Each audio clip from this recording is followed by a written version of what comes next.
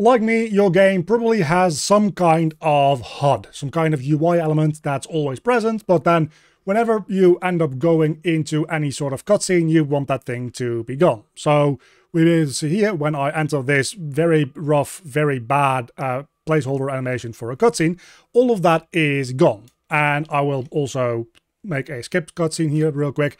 Once the cutscene is ended, they're all back.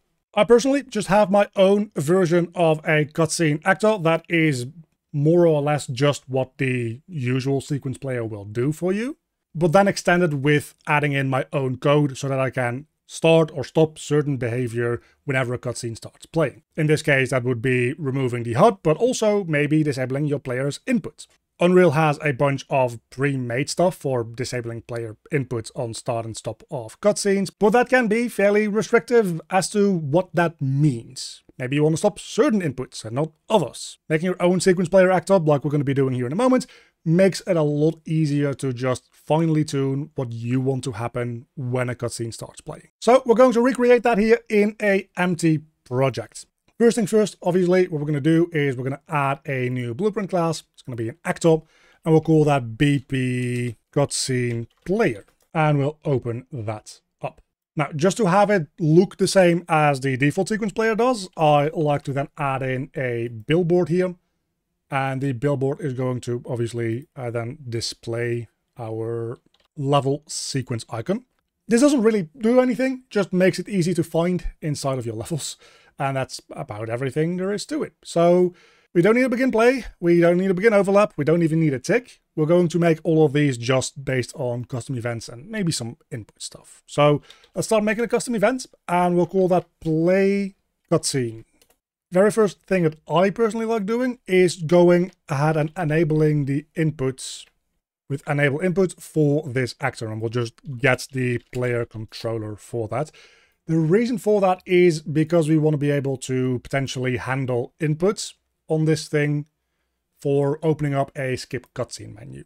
At the same time, what I want to do is I want to get our player controller and disable the inputs on whatever player pawn we have possessed. So get player pawn. Again, if your game has a more specific function on a specific class, this should be the other way around, for what it means to disable your player's input. like maybe you wanted to be able to still move around but not attack or something like that, you can just call that function here. That's the upside of making this yourself, is the very customizability of what disabling inputs will, will mean to you. Then we create a level sequence player. Now we're going to promote the settings here to a variable and we'll make that instance editable. And the same thing with the actual level sequence. Promote that to a variable as well. This creates a level sequence player that we can first bind to some events that happen when we start and stop it before we actually start playing it. The issue with a lot of the original built-in sequence player is that by the time you have access to it, it likely already has started playing usually, meaning that binding stuff on start play for it, uh, you're already too late for that. So what we can do is we can bind events to on play. You can also bind to on pause and on end and whatever you want to do with that really. And then we can bind events to stop or on finished. We're just going to go with on finished. And we'll make those two custom events. Started playing and a custom event here for finished playing. Once we've bound to those, we can then actually play our sequencer. And since we've bound to it before we started playing now, it will actually run whatever code we put into here. It's also good to keep this thing around uh, as a variable. So we'll call this just our uh, sequence player. Doesn't need to be exposed or anything, just easy to get a reference to on a later time.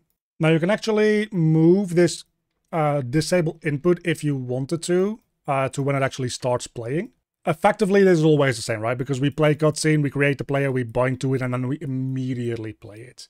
It's just if we, for some reason, then replay this level sequence um, thing, putting your disable input into here means that you get disabled again for your input whereas leaving it here only disables it on initial play. So it's a little bit better to put it in here. My reference project didn't have that. I probably should change that. And in the same way, we can obviously copy our controller and player pawn uh, reference getters here, and then we can enable inputs again. So on our player pawn, that is, we enable our inputs on the player controller. So let's make a super quick uh, just placeholder widgets that we can add just so you can see that it like does something. Uh, so we'll make a user interface, widget blueprints, WBP HUD, make that a canvas panel. And I'm just going to put in a little bit of text centers in the middle of the screen, just so that you can see that it disappears. There's nothing like actually like major going on for this. So in the third person character blueprint, I'll just add that on begin play. Uh, we don't have a begin play yet here, so begin play. Uh, we create a widget. That'll be our very ugly HUD. And then we'll promote that to a variable as our HUD and add it to the viewport. Now also make a custom event here real quick. You probably maybe want to be doing this with an interface instead in case you have different player character classes that all need to be able to have their HUD hidden. Depends on how your code is set up in your project, obviously. We're just going to stick with a simple custom event here, and that is uh, set HUD visibility. Just going to keep it with set HUD vis, and we'll get our HUD, and we'll set the visibility for it. And that'll be a input parameter for this.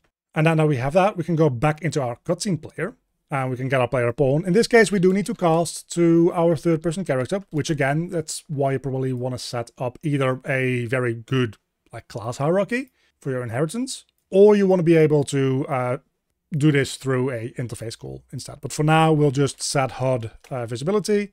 When we start playing, we're going to set this to being hidden. And then when it stops playing, we just kind of do the same thing again. You could save out this reference if you wanted to, but it's not that big a deal to just like cast again real quick to it. And on finish playing, we're going to be setting this to visible or non-hit testable or whatever you need it to be. I'm just going to keep it as visible for now. And that'll allow you to hide your HUD widget, whatever it might be, right? Hey, if you're enjoying this content and it's helping you out, please don't forget to leave a like on this video. You can also leave a comment on this video expressing what you liked or asking questions that I can cover in future videos. And then of course, if you want to stay up to date with those new uploads, make sure that you're subscribed to the channel as well. Now we have this set up. One thing that I personally do like to do is add extra event dispatchers onto this actor so that we can easily bind to those whenever it starts and stops playing in case other actors are listening out to this player. So we can just make a on start playing and a on end playing. If you want to, you can add in parameters here, maybe send through a reference to this actor itself if any of your logic needs that.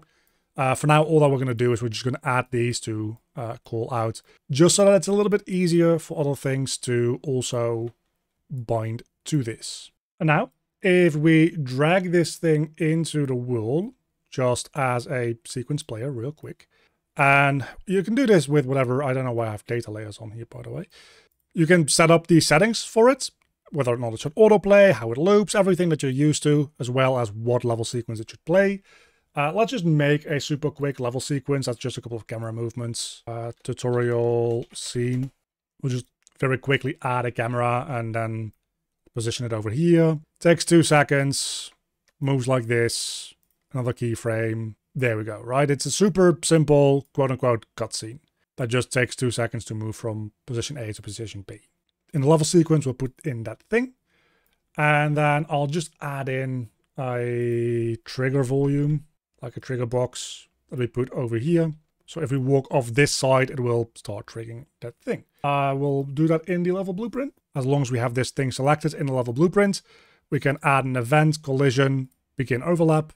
And we can just check if the other actor is the get player pawn.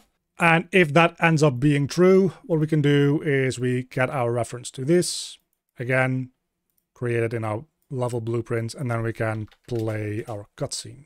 And you will see that this effectively uh, does everything we want. So we have our text block. If I walk to the left here, place the cutscene, text block is gone, and text block will be back when the cutscene is over. So that's uh, pretty much everything there is to it. I did also have the end cutscene or skip cutscene thing in my preview there. I'm not going to reconstruct that step by step, uh, but I'll just walk you through my own project real quick as to how that works so that you have a general overview. Because the way that that works is because I enable my input here, I can just put in a input action from the enhanced input system and it will work and respond to my input triggers. Then I uh, cast to my player character and I'm using Common UI. So instead of making a new UI widget, I push to an active widget stack. And we're just pushing uh, this skip cutscene widget that I have here, which just has a continue button, which once again removes this thing from the screen and just keeps on playing. And the skip cutscene button, which what that does is when it is clicked, is skip cutscene, it just calls out a event dispatcher for skip scene. And as you can see, uh, continue, just both of them set the game to unpaused. Game pauses whenever this thing is constructed. It unbinds everything from skip cutscene because the thing is not going to be on screen anymore, so we don't need that binding. We set the input mode back to game only, and then I deactivate these widgets. I think actually we can get rid of remove from parents. That's from the old system before I was using Common UI. Uh, but the most important thing is that I, on this thing, have a event dispatcher that calls out whenever I press that skip cutscene button. In our cutscene actor then, whenever we have added this to the screen. If you just use create widgets, you get that return value of the widget that you just created. Uh, with Common UI, I need to then get the new like active widget from our stack. But either way, what you want to do is you just want to get a reference to the widget you just made. And then you can bind to that skip cutscene thing. And all that you need to do there is, it's called new var here because I'm bad. Uh, but that's our level sequence player that we make somewhere up here. As you can see, create level sequence player, get set to new var. Uh, that just has a built-in thing for go to end and stop. Uh, in my case, what I do, I think, is I uh, bind my end cutscene to stop, not to on finished. Uh, because if you want to be able to skip it, on finished only runs when it actually finishes. On stop also runs when it either just naturally finishes or when it is forcefully stopped. All that as just a general overview because it's something that I showed off. It's not really what this video is about, but otherwise I might leave you hanging as to how that roughly works. And a very big thank you to all my Patreons. You can see them on screen right now. If you want to help support the channel or get any of the project files in any of my tutorials, there's a link down below to the Patreon page to support me or alternatively as a YouTube member.